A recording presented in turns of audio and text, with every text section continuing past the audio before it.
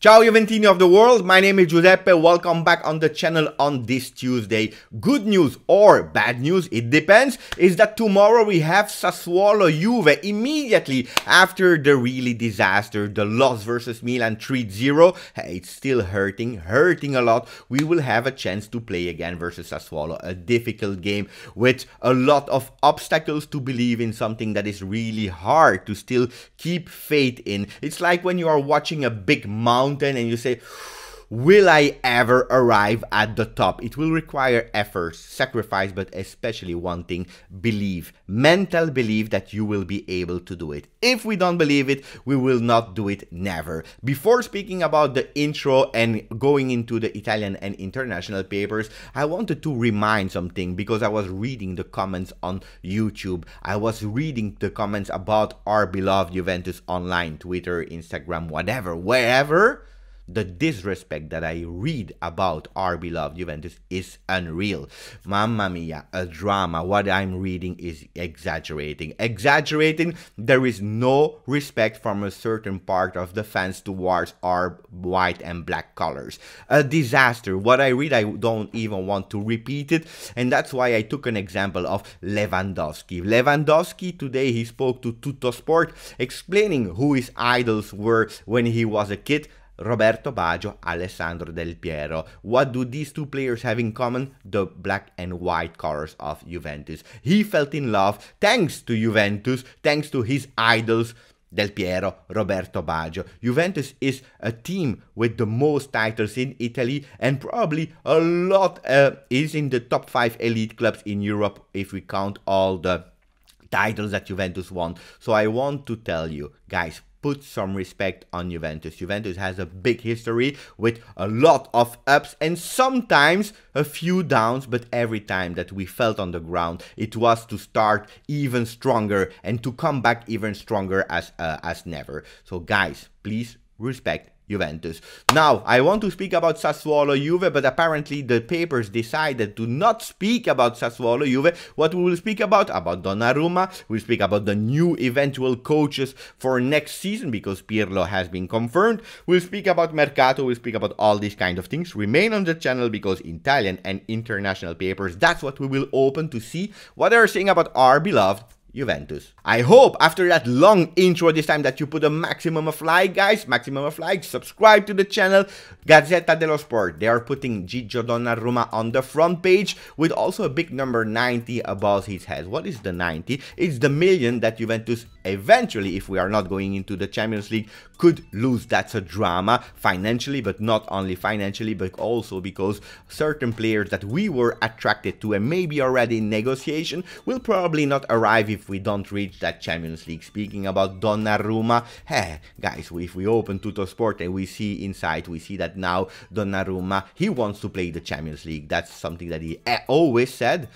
If Milan goes to Champions League and Juventus not, will we see Donnarumma to Juve? I have no idea. Probably not. Let's see what will happen there. But we continue with Corriere dello Sport. Juve nel incubo. Juventus is living a nightmare and this is a reality. At the moment, everything that can go wrong is going wrong. Luckily, we still have three games of Serie A and a final of Coppa Italia to play to maybe change that nightmare in a dream, but it will be really, really difficult. Speaking about Inter, are they doing better because they won the Scudetto? Apparently not, because apparently Zhang, the president of Inter, he asked all the players to give up two salaries, two mensuality, so two monthly salaries, and the player said, no, we don't care, we want our money, we want our money, even Bastoni, uh, they are promising him to renew since so many times, they don't have money, so they are waiting, and the agent of Bastoni uh, is saying, hey guys, if we don't renew, then we will see what we will do. Same for Conte, so they are not in a better situation than Juventus at the moment.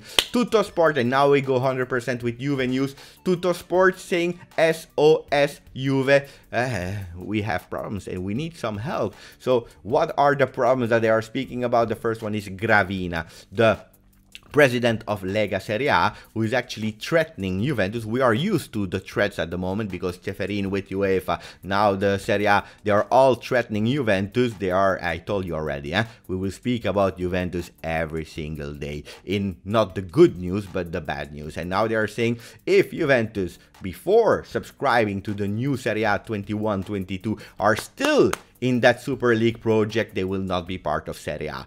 Eh, eh, guys, I want to speak about serious things, guys. I want to speak about serious things and not about threats about uh, Serie A Gravina because uh, uh, Serie A without Juventus, we already saw the consequences in 2006. Serie A lost a lot and probably forever their best league of the world. Will they commit again the same mistake? I'm, I'm doubtful. I'm really doubtful, but I want the threats to stop.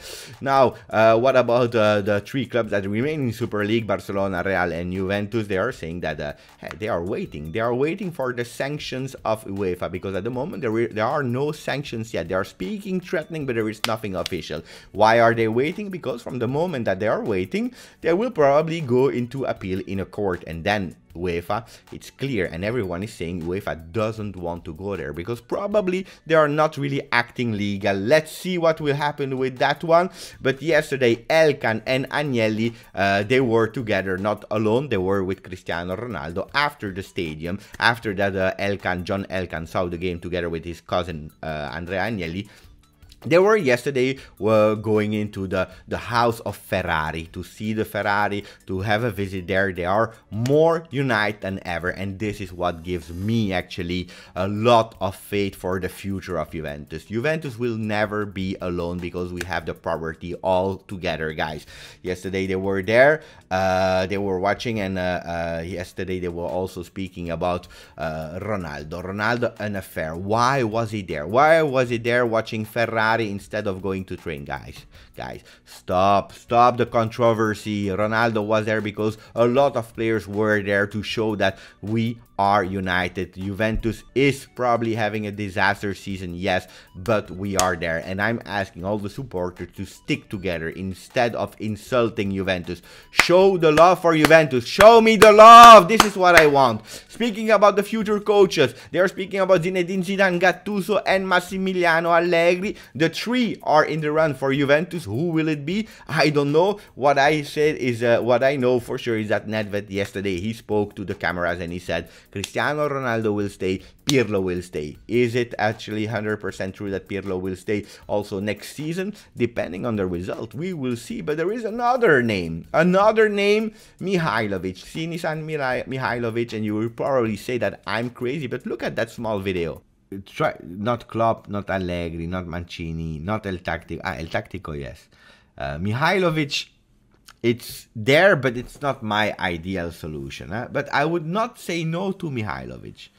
I am not against the Mihailovic in the future. I don't know what will happen, but Mihailovic, he has some skills. I don't know why. Maybe I'm crazy, but Mihailovic in the future why not? Why not? And now, uh, about the management, Paratici still didn't renew his contract. If he will not renew, if he stops his contract, we have already Cherubini that is ready. I made a video about that one year ago together with Mo El Tactico. I will put the link if you want to see and who understand who is Cherubini. It's a really interesting video.